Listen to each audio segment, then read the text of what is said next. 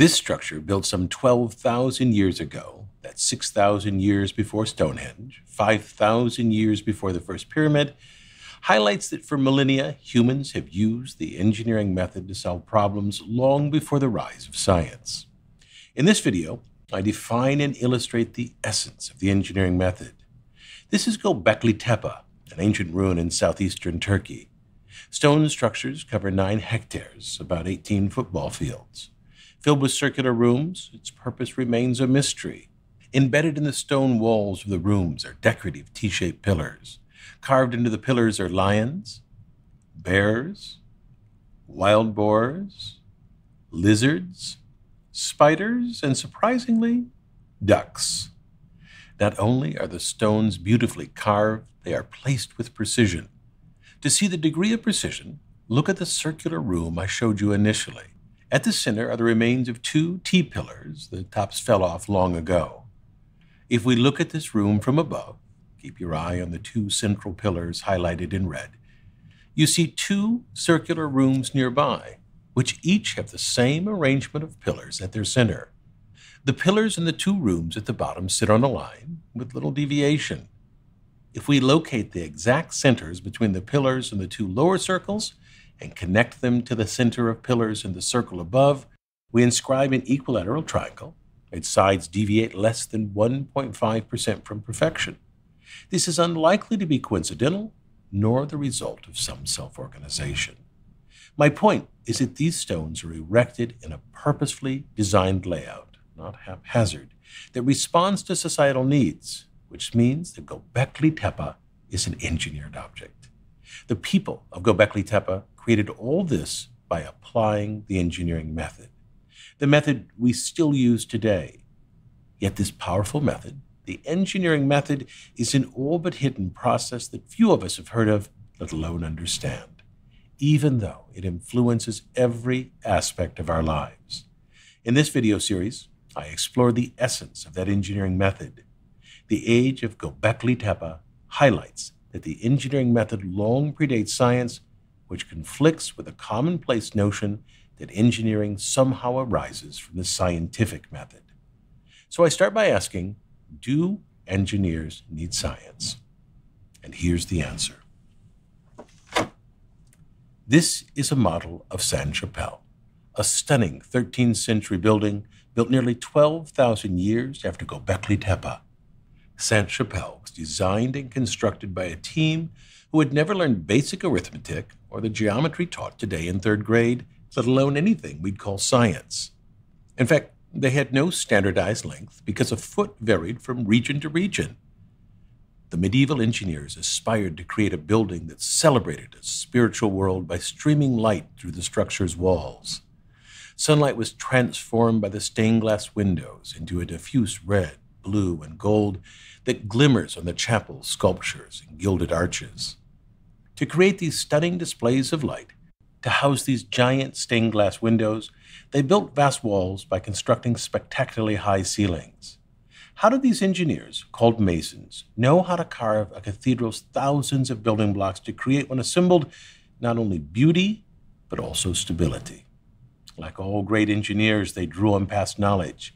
They used an architectural element that originated in present day Pakistan. Notice that Sainte Chapelle has, as do all cathedrals, pointed arches some six on the front, at least 10 on each side, and on the back, six more. And of course, many pointed arches support the ceiling. They chose this pointed arch over the arch used in the Romans' extraordinary Pantheon, built about 1400 years before Sainte Chapelle. The Pantheon, typical of all imperial Roman architecture, features a semicircular arch. It is exactly half of a circle. If a medieval engineer used a semicircular Roman arch to construct a soaring cathedral, it would cover entire city blocks and use so much stone that the cost would skyrocket. The savings from using a pointed arch instead of a semicircular arch can be seen clearly by comparing Sainte Chapelle with the Pantheon. Note how Sainte Chapelle is nearly the same height as the Pantheon, yet just a little over a third as wide. This Roman semicircular arch was rejected by medieval engineers because its width has to grow proportionally to its height. To see the problem, consider a semicircular arch that is 10 meters in width. It is 5 meters in height because it's half of a circle. So its height is half of the diameter. Now, if I double the span covered from 10 meters to 20 meters, you see that the height is now 10 meters. It is doubled. Contrast this to the pointed arch. As the arch increases in height, the span covered can stay the same because the shape of the arch can change as its height increases. Although medieval engineers didn't adopt the Roman semicircular arch, from the Romans they inherited the key idea that enabled them to build their stunning cathedrals that have stood for centuries. We can see it in this arch from Sainte Chapelle. To support this arch, the medieval engineers had to correctly size the thickness of this wall. If this wall were too thin, the weight of the arch would buckle the wall, the structure would collapse. If too thick, stone would be wasted at a huge cost, and the desired open space inside the cathedral diminished. To size the wall, the medieval builder used a rule that created the stable, semicircular arches of the Pantheon. A stable arch results when the supporting wall's thickness is between a fourth or a fifth of the arch's span. If an arch's span were this long, then you divide it into about four equal parts and use one of these to size the wall's thickness. But there's a problem with applying this proportional rule. The Masons knew no mathematics, nor, as I've said, they even have a ruler. So this rule was not a calculation, but was instead an action. The Mason would have a life size chalk drawing of the interior of this arch on the floor of the drawing room. No, instead, I've drawn the interior of a pointed arch on a large sheet of paper. In addition to this arch drawing or template, you need a piece of string. The mason would have used a rope.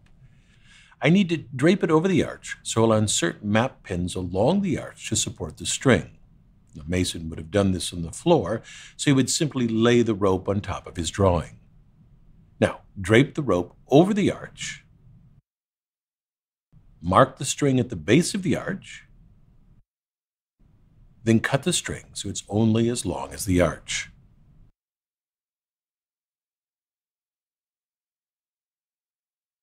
Next, lay the string on the ground and fold it into thirds.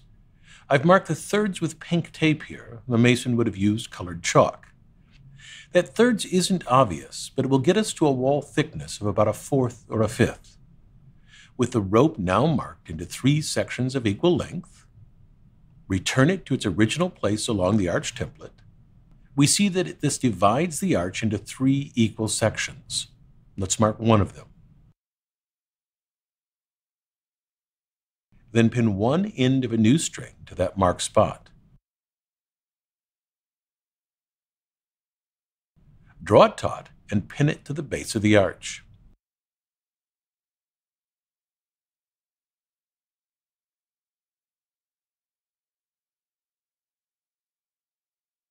we need to attach to the base a length of string exactly equal to the distance from the spot a third of the way along the arch to the base. So I just fold the rope and mark it.